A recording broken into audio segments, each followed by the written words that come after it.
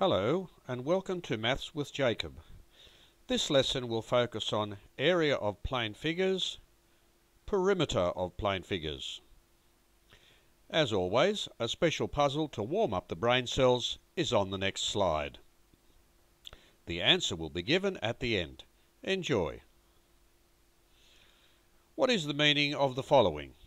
Good luck with it, it's one of my favourite ones, and the answer is at the end. Definition of area. Area is a measure of how much space there is inside the boundary of a flat surface. Area is measured in square units. For example, if the boundary of a surface is measured in metres, then the area is measured in square metres. And this is the short way of writing square metres. In the next slide, the formulas for a number of popular plane figures will be given. An example will follow showing how to calculate the area for each figure. Firstly, we start with a square. The square is the blue object. Here it is here. This is a square where each side is b units long. Now to find the area of the square, we multiply b times b. So area equals b squared. The particular example, if b equals 3 metres, then we know that each side of the square is equal. So the area is 3 squared, metres squared, or square metres. Because here the area is b squared. So if b is 3, the area is 3 squared. 3 squared is 9, so the area is 9 square metres. For the yellow rectangle, we have the length of the rectangle is L, and the width is W. The area of the rectangle is LW. The particular example, if L equals 5 metres and W equals 3 metres, then the area is 5 metres by 3 metres, which is 15 square metres, because 5 threes are 15. The area for a triangle, now this is any type of triangle, all you need to find the area of a triangle is the length of the base and the perpendicular height. Once you have those two measurements, the area is half base times height.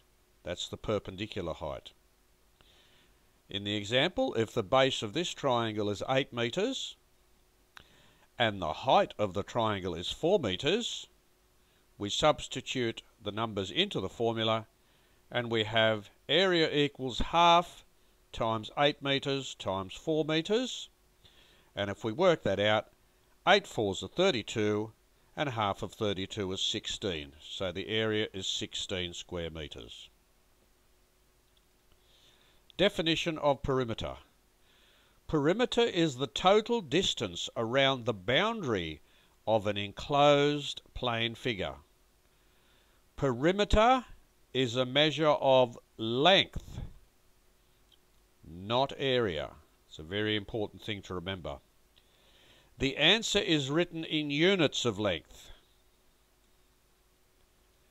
If we take our square, as we did before, and this time the length of each side of the square is L, the perimeter is 4L because there are four lengths, four lengths of the square.